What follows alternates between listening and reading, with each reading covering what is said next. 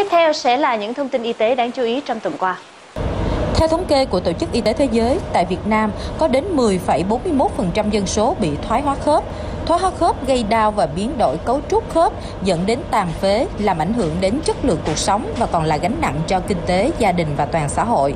Sản phẩm này hỗ trợ điều trị thoái hóa khớp bằng các nguồn thảo dược thiên nhiên là một trong những giải pháp được tư vấn bởi Trung tâm ứng dụng công nghệ cao thuộc Viện Hàn Lâm Khoa học và Công nghệ Việt Nam cho ra đời sản phẩm viên hành đen tía tô. Sản phẩm được chiết xuất chọn lọc các hoạt chất từ thảo dược, được lên men công nghệ cao và bào chế với công nghệ nano, hỗ trợ giảm phong thấp, hỗ trợ mạnh gân cốt, hỗ trợ giảm đau và vận động khớp khó khăn do viêm khớp, hỗ trợ giảm nguy cơ thoái hóa khớp cho nhiều đối tượng, đặc biệt là người cao tuổi.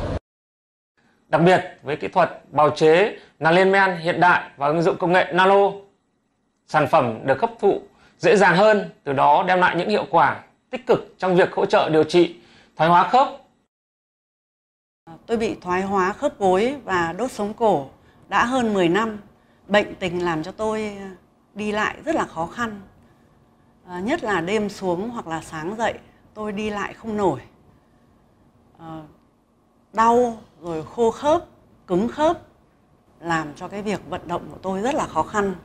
Thế tình cờ xem ở trên TV thì được biết đến viên hành đen tía tô.